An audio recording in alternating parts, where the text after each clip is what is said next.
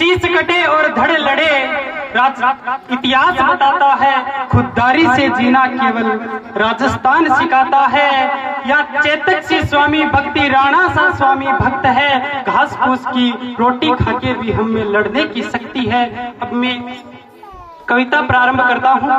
27 फरवरी 1921 को चंद्रशेखर आज़ाद शहीद हुए थे। तब तब तब तब तब मार्च 1931 में राजगुरु सुखदेव और भगत सिंह को फांसी देने की सजा हो गई थी। तब चंद्रशेखर आज़ाद उनको बचाने के लिए इधर उधर भागदौड़ कर रहे थे। तब उसके लिए दो लाइन, अहले ए बहादुरों की किस्से सुना करो। इनके किस्से सुनने और सुनाने लायक होती है।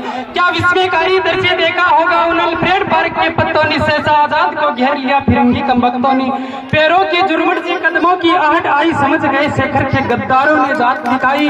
मिटा दूँगा फिरंगियों को आज़ाद ने कसम खाई और अपने प्राणों से भी प्यारी वो पिस्तौल उठाई। उनका दोस्त उन्हें छोड़कर नहीं जाना चाहता था, तब आज़ाद ने कहा, तुम क्या सोचते हो कि मरते मरते दम तोड़ दूँगा मैं? यही सोचते हो कि इन फिरंगियों को ज़िंदा छोड़ दूँगा मैं? अरे कायर कारतूसों की क्या दशा विषाद चक्र को मोड़ दूँगा मैं? मृत्यु सबकी स्वामिनी है, आज उसका ये भ्रम भी तोड़ दूँगा मैं। मृत्यु सबकी स्वामिनी है, आज उसका भ्रम भी तोड़ दूँगा मैं। आज़ाद के लिए एक संबोधन है जगदम्बा का केहरी। वो जगदम्बा का केहरी वो अल्फ्रेड पार्क में दहाड़ भी इंकलाबी भाषा में चिंगाड़ रहा था। नील गगन में दिनकर भी अस्ताचल की ओर बढ़ रहा था। भारत अकेला सिंह सैकड़ों भेड़ियों से लड़ रहा था। भारत का अकेला सिंह सैकड़ों भेड़ियों से लड़ रहा था। हौसला था, जुनून था, जज्बा था।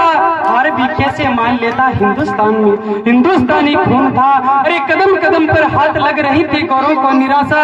दरी की दरी रह गई गौरों की अभिलाषा। आज़ाद की पिस्तौल बोल रही थी भद्रकाल सुमित्रा नंदन ने इंद्रजीत को सहारा। शक्ति से वर पाकर जय दर्द का काल बने, स्वयं अर्जुन भी। जय दर्द का काल बने, अर्जुन भी। आज़ाद ने पिस्तौल उठाकर तीन गोरे मार गिराए। जय भवानी बोलकर आज़ाद ने अपनी जेबें चेक की। खाली एक एक गोली निकल कर आई। आज़ाद ने अंतिम गोली आज़ाद को चौका दिया।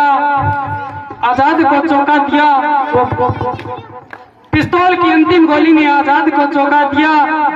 आज़ाद को चौका दिया। भारत का मान सम्मान बलि हो गया अद्भुत वैभव से और घंटों तक दूर रहे फिरंगी आज़ाद के सबसे फिरंगी घंटों तक दूर रहे आज़ाद के सब सबसे